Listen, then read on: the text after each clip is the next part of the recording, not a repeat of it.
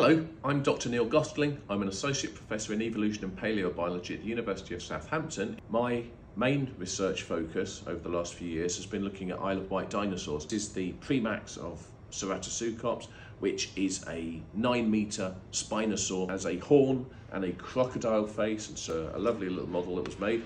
Um, um, Ceratosuchops would have been standing on the banks and then jutting its head or maybe using its big old claws on its hands to hook or grab fish.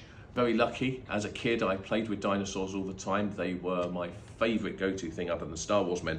Um, I think that dinosaurs are the way into science for a huge number of people, and I'm super proud because Ceratosuchops, our Spinosaur, has been made into a toy dinosaur. It has a movable jaw and everything.